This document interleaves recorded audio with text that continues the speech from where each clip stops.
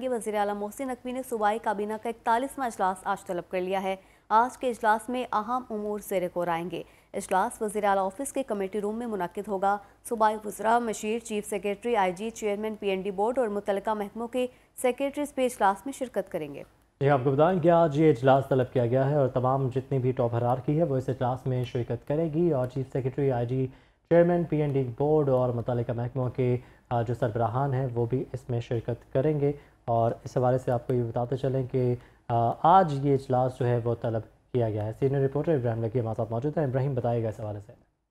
जी, ये इकतालीसवां इजलास है निगरान हुकूमत का जो आज पंजाब ने तलब किया है। इजलास में अहम अमूर पर जो है, वो किया जाएगा। इजलास आज दोपहर ऑफ़िस के कमेटी रूम में मुनद किया जाएगा, जिसमें निगरान काबीना समेत तमाम इजलास में शिरकत करेंगे।